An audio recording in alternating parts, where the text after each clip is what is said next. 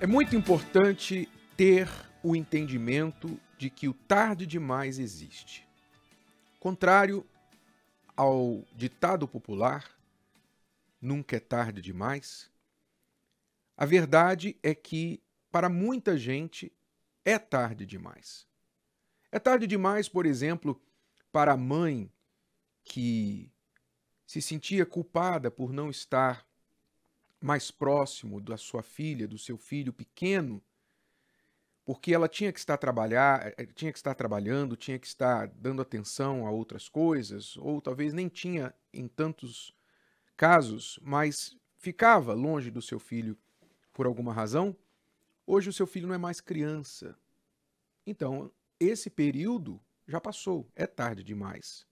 Não dá mais para fazer aquilo que ela queria enquanto o filho era criança.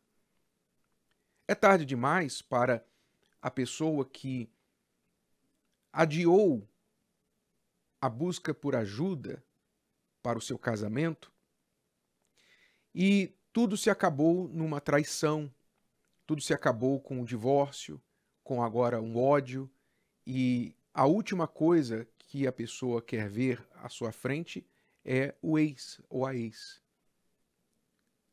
O tarde demais existe para aquela pessoa que está no cemitério, já morreu. Não existe mais tempo para ela se arrepender, para ela buscar a Deus. Não tem mais tempo. Acabou. O tarde demais chegou para ela. A morte fez o tarde demais chegar para ela. O tarde demais existe para aquela pessoa que hoje está com doenças gravíssimas, porque durante anos da sua vida ela ignorou todos os conselhos médicos para observar a sua alimentação, observar o seu cuidado, a sua saúde, fazer exercícios, evitar excessos, e ela ignorou tudo isso e foi em frente, fez o que ela queria, o que ela sentia vontade de fazer, e hoje a conta chegou. A conta chegou. A pressão alta está aí, o colesterol está aí, o diabetes está aí, o câncer está aí, ela não pôde evitar isso, porque ela ignorou, ela adiou buscar ajuda, ela adiou a mudança.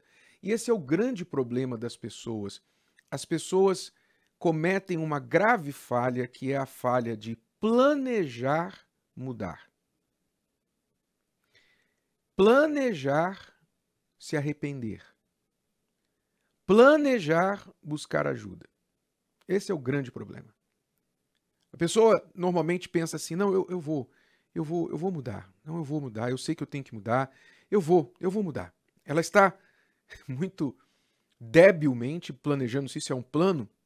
Ela está expressando uma intenção de mudança lá na frente. Ah, não, eu vou mudar. Eu sei que eu tenho que mudar. Eu vou mudar. Eu sei que eu vou e tal. Ela está pensando que em algum momento no futuro ela vai fazer o que ela tem que fazer.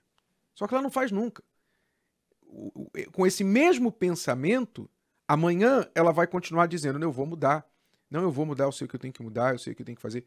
Não, eu vou parar, eu vou parar de fazer isso, eu vou parar de fumar, vou parar de beber, eu vou parar de comer desse jeito, eu vou, eu vou buscar um médico, eu, eu vou buscar mudar minha alimentação. Eu, eu, não, eu vou, eu vou, eu vou. Então ela fala hoje, ela fala amanhã, ela fala mês que vem, ela fala ano que vem. Então nunca esse dia chega, porque ela não muda a sua maneira de pensar. Então vai chegar um dia em que a realidade vai bater de frente com ela e aí ela vai se dar conta: chegou tarde demais. A palavra de Deus diz assim: buscai ao Senhor enquanto se pode achar. Quer dizer, a Bíblia não deixa para gente um período aí aberto, indefinido, sem fim, no qual a gente pode buscar a Deus. Não, busca Deus a hora que você quiser. Não, você é jovem demais. Quando você estiver velho, você busca Deus. Quando você morrer e você estiver lá diante do trono de Deus, você pede para ele uma chance. Você pede para voltar nessa terra e que agora você vai ser bonzinho, igual nos filmes, lembra? Pois é, a Bíblia não fala isso. A Bíblia fala: Buscai ao Senhor enquanto se pode achar, invocai-o enquanto está perto. Ou seja, há um momento em que Deus, o próprio Deus, fecha a porta para a pessoa. Ele fecha a porta. Sabe por quê?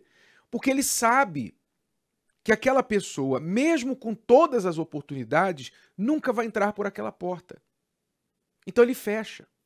Deus que vive fora do tempo, você sabe, Deus não está sujeito ao tempo, passado, presente futuro.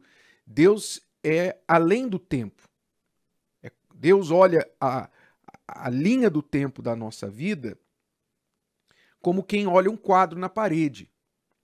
Imagine um quadro, uma pintura, e nessa pintura estão representados passado, presente e futuro. Quem está olhando o quadro de fora está vendo passado, presente e futuro no quadro, ao mesmo tempo, não é isso? Pois é, Deus vê o tempo assim, ele vê tudo, ele vê passado, presente futuro, ele já sabe tudo o que vai acontecer. Nós estamos, porém, sujeitos à linha do tempo. E Deus sabendo que, mesmo dado todo o tempo necessário, nós não vamos seguir aquela porta, aquele caminho, então ele fecha. Acabou. A palavra dá isso a entender muito claramente. Não foi isso que o Senhor Jesus disse também que acontecerá no final dos tempos, quando muitos vão querer entrar pelo caminho apertado, mas não vão conseguir? Muitos vão querer entrar na porta que leva à salvação, vão bater do lado de fora, depois que a porta já se fechou, e vão pedir assim: Senhor, deixa-nos entrar. E ele vai dizer: Eu não conheço vocês. É isso que a palavra de Deus alerta muitas e muitas vezes. Busque enquanto é tempo, busque ajuda enquanto é tempo. Então, você que está aí, sabendo que você está no caminho errado, seu casamento está acabando, sua saúde está piorando, sua vida espiritual é não existente. Você tem problema com seu filho, você tem mágoa de alguém, você não fala com a sua mãe, você não fala com seu pai, você não fala com seu irmão, você não fala com seu filho, e você fala, está pensando assim: "Não, um dia, um dia eu vou resolver isso. Um dia eu vou fazer isso. Um dia eu vou me arrepender". Você está aí planejando mudança. Para com isso. Para de se enganar. O que você tem que fazer, faz logo. Faz o que você tem que fazer, pelo amor de Deus, hoje. Não diga assim, ó, não, segunda-feira eu vou fazer. Não, não é segunda, não. É hoje. Você não sabe se segunda vai ser tarde demais. Você não sabe se você vai estar aqui segunda.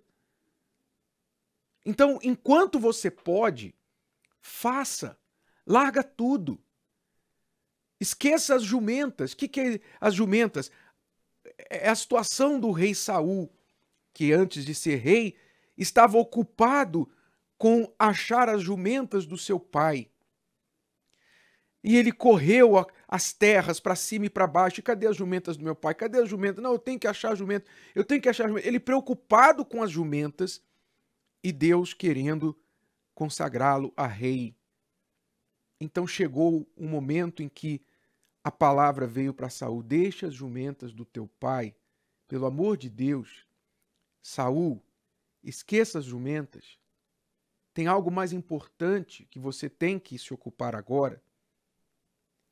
Assim também, pelo amor de Deus, você que está me ouvindo, me assistindo agora, você está tão ocupado com as jumentas, tão ocupado com as jumentas que você virou um jumento.